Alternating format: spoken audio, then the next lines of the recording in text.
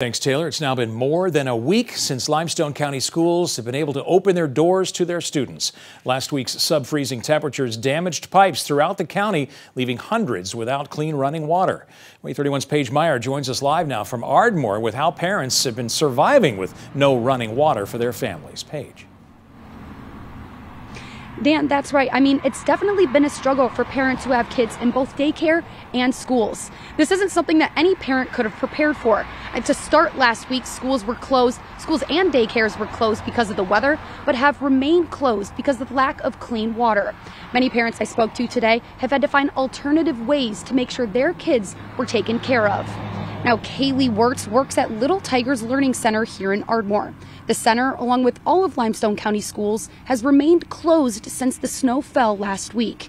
Kaylee has three kids of her own, one in school and two in her daycare that she had to take care of.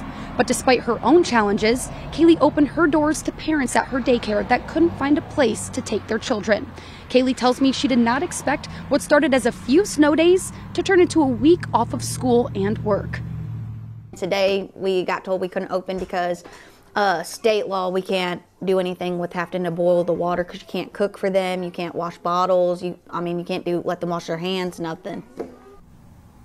Kaylee took care of seven kids today as she helped parents who were struggling to return back to work.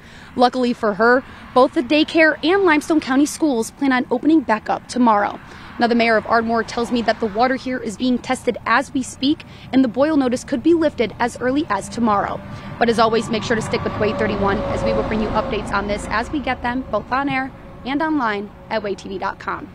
For now, reporting live in Ardmore with coverage you can count on. Paige Meyer, WAAY 31 News.